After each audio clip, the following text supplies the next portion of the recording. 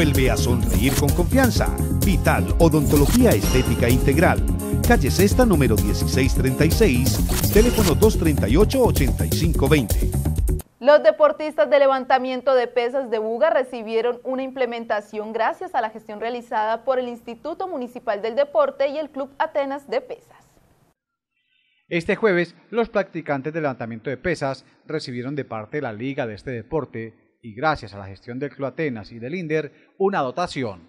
La Liga le está haciendo un homenaje al Club Atenas, al profesor Ricardo Ballesteros, por esa labor de tantos años y nos ha obsequiado pues, un equipo de levantamiento de pesas que que tiene un costo aproximadamente de 6 millones de pesos, equipo profesional, y eso ayuda para que los pesistas de UGA sigan preparándose. Eh, un especial homenaje que se les está haciendo a las pesas, trayendo una dotación deportiva eh, muy importante para este deporte, esperando que cada día más niños más jóvenes se enamoren de esta disciplina deportiva, que cada día más eh, se entrenen en las pesas y que tengamos resultados tan importantes como los que venimos viviendo como jóvenes y niños que ya son campeones departamentales.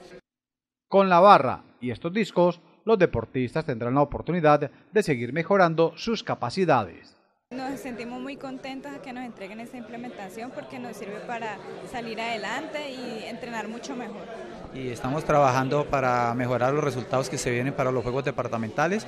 De todas maneras, seguimos cuidando la parte del semillero para así seguir produciendo medallas a nivel nacional e internacional. Gracias a los resultados obtenidos por los deportistas locales, se abren espacios a nivel departamental y nacional ya nos empiezan a ver con otros ojos. Cuando apoyamos el deporte de la ciudad, cuando empezamos a hacer eventos deportivos en la ciudad, pues empieza también Indervalle, las ligas eh, vallecaucanas a invertir. Esta implementación hará posible que los pesistas de Bugá sigan aumentando su rendimiento.